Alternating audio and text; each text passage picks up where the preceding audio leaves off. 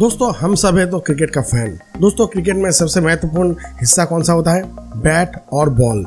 तो दोस्तों, क्या आपको पता है क्रिकेट में जो बॉल होता है, उसका वज़न कितना होता है? आईसीसी का रूल क्या कहता है? एमसीसी लॉ में क्या लिखा हुआ है? कब से कौन सा बॉल चालू किया गया है?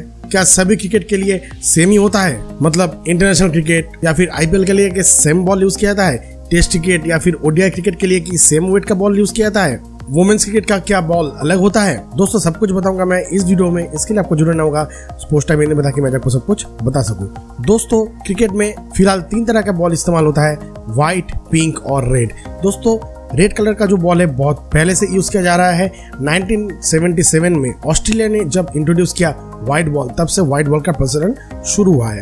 रेड बॉल टेस्ट क्रिकेट में भी खेला जा रहा है और व्हाइट बॉल से ओडीआई और टी क्रिकेट खेला जाता है। दोस्तों ओडीआई हो टी ट्वेंटी हो या फिर टेस्ट क्रिकेट हो, सभी क्रिकेट के लिए बॉल जो होता है बॉल का वज़न एक ही रहना होता है। हाँ इसके लिए ब्रिटिश स्टैंडर्ड बॉल का जो कंस्ट्रक्शन डिटेल्स है, वो क्लियर किया गया है कि बॉल का वज़न कितना होगा और बॉल का जो सरकमफरेंस होगा मतलब कितना बड़ा होगा बॉल वो भी उस लॉ में डिटेल में मेंशन किया गया है। तो दोस्तों, चलिए जान लेते हैं क्या है लॉकिंग इसमें। दोस्तों British standard B S five double nine three इसमें जो क्रिकेट बॉल है उस बॉल में कंस्ट्रक्शन डिटेल्स दिया हुआ है, जो कि डायमेंशन क्वालिटी और परफॉर्मेंस डिनोट करता है इस लॉ में।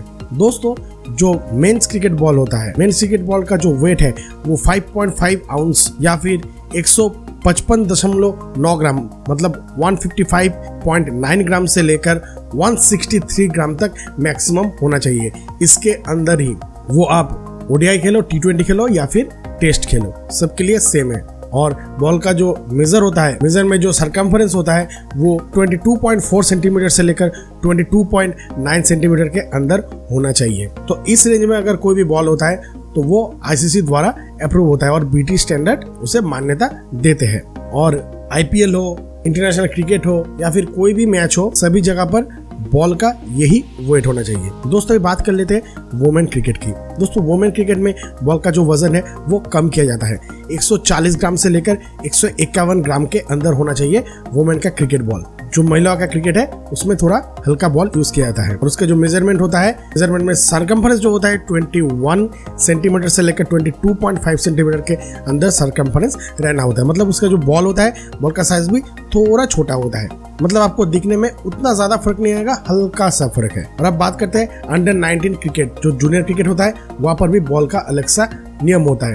वहाँ पर बॉल का वेट जो है 133 ग्राम से लेकर 144 ग्राम के अंदर होना चाहिए। और भी हल्का होता है जूनियर लो का बॉल और जो मेज़रमेंट होता है, उसका 20.5 से लेकर 22 सेंटीमीटर तक इनका सरकमफरेंस होना चाहिए। मतलब बॉल थोड़ा और छोटा हो जाता है। तो ये सब मेंटेन करके क्रिकेट बॉल का वज़न और साइज़ या फिर आप कह सकते मेज़रमेंट मेंटेन किया जाता है। तो दोस्तों आईपीएल और क्रिकेट के बारे में आपको और क्या जानकारी चाहिए? नीचे कमेंट सेक्शन में ज़रूर लिखिएगा दोस्तों। मुझे इंतज़ार रहेगा दोस्तों आपके मीठे मीठे कमेंट का।